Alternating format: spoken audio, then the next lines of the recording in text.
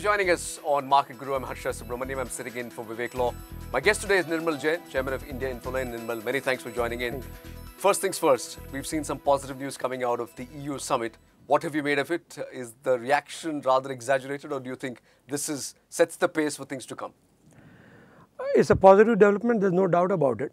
Uh, but it doesn't solve the problem permanently. So for the time being, it has given the given the region to market for uh, uh, given to markets for rallying, and that is what we have seen in Asian markets uh, all over the world. Uh, but I think EU summit uh, day two is today, and beyond this also we have to see that how these countries are able to address their deficit, their debt, and you know how they are able to restore growth. Because unless they do this, there's no permanent solution to this kind of problem. Because unless the economy start uh, reducing their debt burden, which is the difficult part, which is the hard part.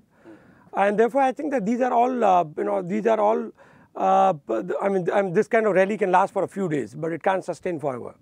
From an Indian standpoint, uh, Nirmal, I mean, how much of this has a material impact or is it purely a sentiment driver? See, it's very interesting because quite a few positive factors have converged in India as well. So on one hand, you get a, a good news from EU summit and then there's a petrol price cut uh, then there's a change in finance ministry, and you know people are hoping that prime minister, uh, whose image has taken quite a beating in the last three years, will do everything to uh, restore it and you know salvage it somewhat you know, before the elections. Uh, so he'll go uh, quicker on reforms because there's so much of media, you know, analysts, economists, mm. and everybody's pressure that you know we are not doing anything. There's a policy paralysis, mm. and of course he's listening. His you know his is happening around him. Mm. so there's a hope that he'll do something which is quick and dramatic uh, so hopes are built up all over. Uh, and I think, uh, but in this, you know, and also monsoon has been a bit slow in the month of June, but you know, now there's a department forecast that it'll make up in July. Uh, so these are all technical factors, you know, which are converging at this point in time. We see that market has rallied today. Uh, just to push that point a little further, you know, we've saw some clarity coming on on the GAAR guidelines yesterday. Uh, the prime minister has made, or, or rather, him stepping in and issuing some measures on the power sector has also improved sentiment. Do you see the overall the tide turning a bit, or do you think it's early days? The tide has already turned a bit, mm. uh, but uh, it is very premature to conclude that we'll get out of our woods or the problems like capital goods, infra, and power sector mm. will get resolved, or they'll show some dramatic uh, improvement or growth in the next two years, mm. because the coalition politics remain as they are, uh, and I think so there'll be more statements, and it's very difficult to imagine that how government will be really pushed through uh, things which it hasn't done in say last eight years and more so in last three years. Uh, but still, if there is something is done, then the negative sentiment is contained for the time being. Hmm. The slide is contained, and you know investors will start looking for stocks. Uh, you know, and in this kind of market, market is fairly valued. It's 14 times. So, you know, if you really look at the historical uh, market multiple, then they have range, you know, in a very pessimistic scenario around 10, 11 times, mm. and in a very optimistic you know, bull phase around 18 times. Mm. So markets aren't dirt cheap; they are fairly valued, but they aren't very expensive either. So you know, the direction of the market will again be uh, therefore influenced by policy, uh, uh, whichever way Manmohan Singh is able to take it forward, and you know that is what we remain, uh, need to be seen. Let's talk about the rupee. You know, despite all of this, the rupee's weakness continues. We precariously poised at about 57 um, do you see that weakness continuing? Are there are these factors that you're mentioning? Will that give some credence to the rupee, not just for today, but but in the near term? I think for rupee, the key variable is crude oil prices, hmm. and as crude oil They've prices have they come off, yeah. they should remain low and they should come down further. If that happens, then you know there's a huge uh, relief for rupee, and you know, rupee's fall should be further, you know, should not happen now. Hmm. But you know, from a structural point of view, India is the only country which runs current account deficit mm. in entire Asia or all emerging markets. Mm. And uh, government has to look at long term because you know there's always a dependence on capital inflows. See, when you have a when your imports are more than exports, and even including software, obviously you are dependent on capital inflows. Correct. Which can happen by form by way of debt or equity. So if you don't have a clear policy on FDI, if you don't have a clear policy on ECB, and there's a flip flop and there is a political you know vested interest that you know pull it back then you always run a risk because whenever sentiment turns adverse and the capital flows are, hmm. uh, you know, they reduce, then you have a problem. Uh, but over medium to long term, I think rupee will slide by 4 to 5 percent per annum. Hmm. You know, what had happened in the interim period, if you see, rupee had appreciated, which was uh, really not a good thing to happen because we were still running current account deficit or a trade deficit, but capital inflows were big. Uh, maybe I think going forward, RBI will be more cautious. So if you know the they won't allow rally to take place just because of capital inflows, and they'll Right. probably try and build up reserves a lot more than what they are today. Uh, having said this, you know at least if the crude oil price uh, softens, uh, rupee will uh, you know not slide further. You spoke about capital flows, Nirmal. Do you expect fund flows to come into equities, to emerging markets? Uh, do you see India being a recipient of, of greater fund flows if you're seeing the global environment ameliorating a wee bit? Uh, yes, uh, but with a caution that it won't be significant. It won't be a huge. It's not like those 2007 when you know you see a lot of money coming in. The macro factors in India still are you know is, is not looking very good because the economic uh, the GDP growth will slow down to six percent, and there are some more conservative analysts or pessimists who think that you know, can go down to four percent also. And uh, with this, we'll also see there'll be tremendous stress on banks uh, because you know this is all. So if you start taking some steps now, the impact on GDP, you know, your fiscal deficit, inflation will start appearing after 12 to 18 months. So even if whatever he does, the numbers for next two three quarters will not look that great. Even corporate earn, corporate earnings, you know, say Infosys or L&T or BHEL, uh, you know, they are not like you know, they'll they'll find it difficult even to meet the uh, guidance or expectations, and therefore uh, next two three quarters will be cautious. So it won't be a runaway market. It's not a market when FI money will come in and chase stocks at any valuations. There'll be more stock specific, but some capital can come in, and more importantly, if FDI policy is uh, you know, is clarified and is made more pragmatic, then we can see some action there, and which will be good from a longer term perspective. See, FI money is hot money. You know, it's a stock market. It comes in, goes out. But what India needs is a very clear policy so that it can attract long-term sustainable FDI and a very clear policy on ECB front also. We did see some measures announced by the Reserve Bank of India in terms of uh, both foreign FI investments in, in the debt side, uh, on expanding on the ECB side. Do you see this have, as having any material difference at all? No, these are all small tactical measures. You know, you release five billion It's only a dollars, ten tweaking. billion dollars. It's only tweaking.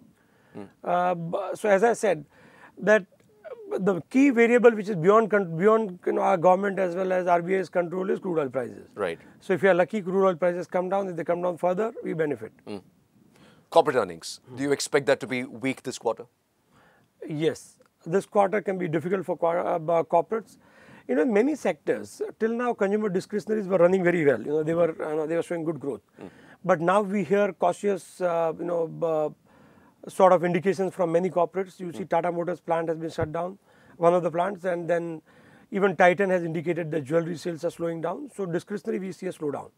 At this point in time, FMCG is still going strong, but I think if monsoon disappoints, then there'll be some concern in this quarter, next quarter on, and that sector is very richly valued already.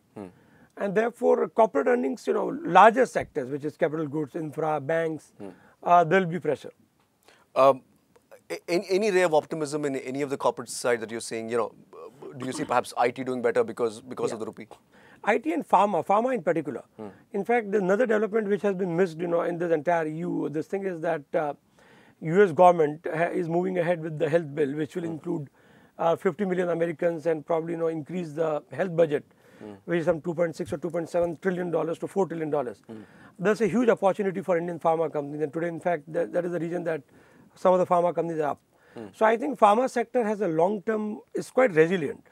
Is resilient to domestic economic. You know those who are you know who have good earnings from uh, from overseas, and also demand back home for pharma you know medicines is not so much dependent on uh, uh, say the economic environment or economic growth as such. So I think pharma sector should do well. This is one of few sectors that can deliver you 25% growth or 20-25% growth over five years compounded uh, without too much of you know uh, risk around it. And other than pharma, I think IT sector is also doing well. And other than that, the third sector that we like uh, in terms of valuations as well as growth is cement. And there are also mid-cap stocks which are you know, attractively valued can make you know better investment choice.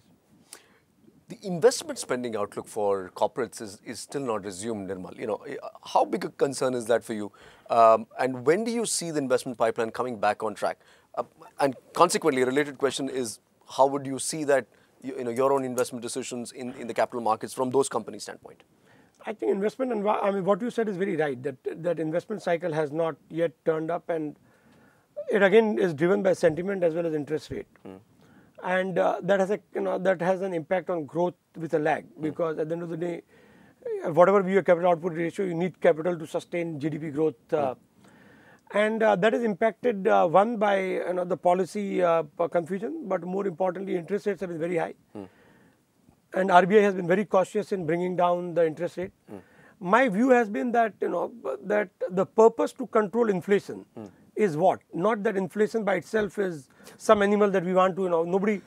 You know what has happened is that historically or you know long term, uh, if inflation is a tax on poor, and when inflation is high, poor people vote against the incumbent government, and that is why you know people fear inflation. But what has happened is that whatever RBI does, it does not impact food prices or primary article prices, and that is what is more important from populist point of view, uh, or even crude oil for that matter. So I think you know you go by classical or traditional theories that inflation is high, tighten the money, you know, reduce, increase the interest rate. That hasn't worked, you say. It hasn't worked, and it's not going to work either. And But therefore, what, what, what, are the, what are the options before, before the Reserve Bank of India? It, it really can't do much when your fiscal side is not being helped, nor is the supply side, isn't it? So at least if it can't do much to inflation, it can do something positive to growth. So it can reduce interest rates more aggressively. It can reduce CRR and make you know money uh, easily available for, as you asked the, your previous question, to help uh, revive the investment cycle. So I think so it can't control fiscal deficit, and that's a fact that unless government does something, you know, significant, the government's fiscal deficit uh, gets into government borrowings, which elbows out private borrowings. So these are factors hmm. which are beyond the control of RBI. Hmm. But if it agrees and it understands that your tight monetary policy and high interest rates are not helping inflation much, Right. so at least not you know try and do something positive on the growth side. Hmm. So you know you know you have two growth and inflation. So you can't do much on one you know the, to contain the negative on one side. Then at least do some positive on the other side. Right. Um, we spoke uh, we spoke about oil for a wee bit. Um, they have come off, but do you expect that to be a determinant on how Reserve Bank is going to be defining its policy? Do you expect uh, perhaps the oil marketing companies to get some more relief? I think yes. I mean that see for us crude oil is the largest item on our import bill, and that will impact almost 80% of our petrol requirements are imported, petroleum requirements. So therefore, uh, it will impact fiscal policy, monetary policy, government, RBI, everybody's thinking, and there's no doubt about it. So as crude oil prices go down, there's some relief on not only current account deficit but also fiscal deficit, because you know you have a subsidy burden which can be eased. And uh, that actually will you know make them probably more uh, you know that will embolden them to take more uh, uh, growth oriented you know steps which like cutting interest rate and things like that What are you telling your clients now? Which pockets in the markets are worth investing in? as we discussed that uh, in we say that you know we have to have asset allocation approach. So restrict your equity to 25 30 percent of your total portfolio for a typical uh, reasonable size hni client. Still be 40 to 50 percent in uh, debt and maybe around 10 15 10 percent in gold and remaining can be real estate and everything. Within equity again we have a bit of a concentrated approach at this point in time. So we are saying that be overweight in pharma it and cement in that order and other than that uh, exposure to equity should be very stock specific a- any stock specific ideas that you can give us with? No, I think these sectors that we uh, discuss, you know, they have quite a few good stocks, and uh, we all know about it. Like say pharma sector, then you have uh, Sun Pharma, Dr. Reddy, or you know, uh, Torrent, Lupin.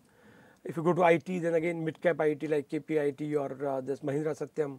These are the good stocks. In cement, again, uh, you know, you have stocks like JK Lakshmi, and you know, these are attractively priced. And of course, uh, you have Shree Cement and you know, Madras Cement and all of those. I think north-based cement companies are doing better. You know, that's what our research is uh, of the view. So this is how a portfolio can be built. But the broader approach to portfolio, as I said, has to be asset allocation, and uh, still we say 40 to 50 percent has to be in fixed income uh, securities. My final question to you, Nirmal, you know, uh, over the last couple of days, we, uh, we are seeing some positive sentiment coming in. We are actually seeing s- some of the global brokerages talking about a 20, 22,000 Sen- Sensex level. Is it too early? What's the number that you have in mind? I would, if I had to put my bet, I'll still put on say 18, 19,000 by this year end, but still 20, 22,000 is not something which is far away or which is very uh, too optimistic to be ruled out. It all depends on how Manmohan Singh now takes finance ministry's role and what he does on one hand, and on the other hand, bit of luck on monsoon and crude oil. Nirmal Jain, always a pleasure having you with us. you Many much. thanks for joining Thank us. That's it on Market Guru. Many thanks for watching.